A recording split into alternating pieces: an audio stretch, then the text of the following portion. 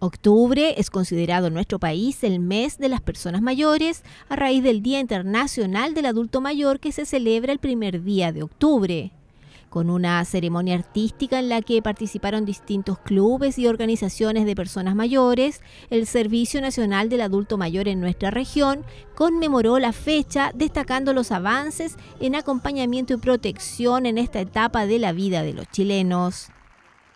También está la reforma de pensiones que se está impulsando hoy en día de manera muy fuerte en el, gobierno para mejorar las pensiones de las personas mayores que sabemos que están muchas en una situación de vulnerabilidad y que necesitan urgente que sea aprobado este proyecto de ley.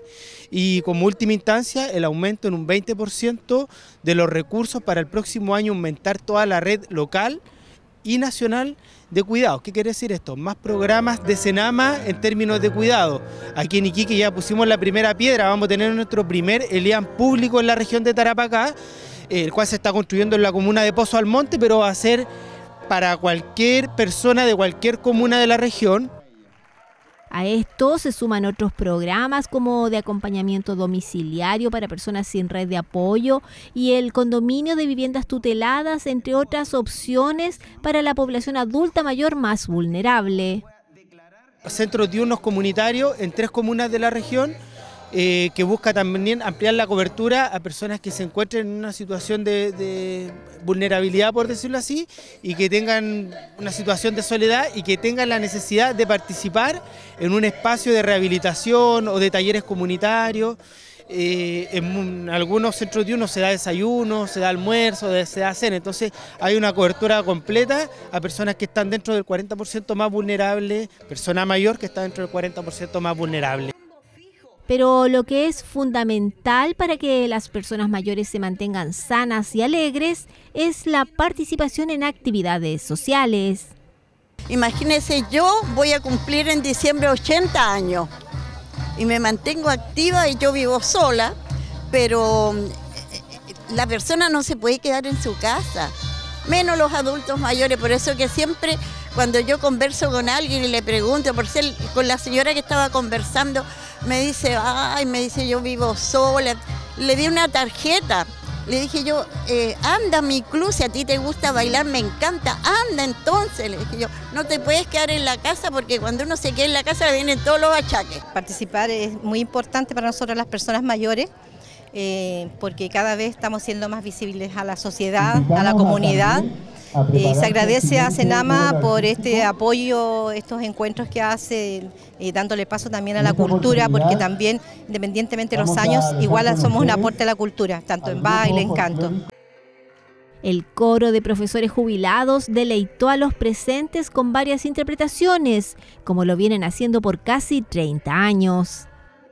Fue fundado en el año 1996 eh, por profesores activos que se llamaba el Coro Magisterio, y luego cuando se acogieron a la jubilación formaron el Club de Adulto Mayor y Coro de Profesores Jubilados. Por lo tanto, em, y se empezaron a reunir los días, nosotros nos reunimos los días martes, eh, bajo la, dirección de Bernardo Ilaja Valdivia, que es el hijo de nuestro antiguo director ya fallecido, muy querido por nosotros, eh, Bernardo Ilaja Carizaya y él ha logrado sacar lo mejor de nosotros, eh, las voces, ¿verdad? Eh, por eso que somos un aporte a, la sociedad. Y no nos cuesta porque lo hacemos con mucho cariño, mucho amor, porque el cantar nos rejuvenece espiritualmente y con el, ¿por qué no decirlo como el cuerpo? los médicos debían recetar el canto.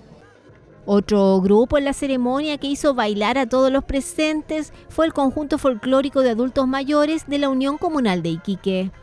Nosotros nos juntamos, hacemos reunión y tratamos de hacer lo mejor, o sea, de hacer proyectos para que ellos eh, repartir. Eh, hicimos este baile que son puros dirigentes los que están bailando. Bueno, aparte de que están activos, hemos viajado y se ha presentado a nivel de todo Chile.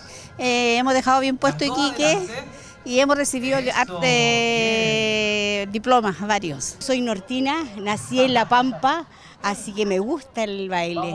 Tengo 73 años ya, pero todavía puedo bailar. Hemos tenido apoyo cierto del, gobernador que nos ha apoyado con los, con los trajes y la municipalidad, el alcalde que nos ha apoyado con el bus para poder viajar y poder eh, realizar los proyectos que tenemos. Durante la ceremonia, el Senama le entregó un reconocimiento a don Manuel Álvarez Font, quien con 100 años de edad se ha destacado en la región en los ámbitos deportivo y literario a lo largo de su vida.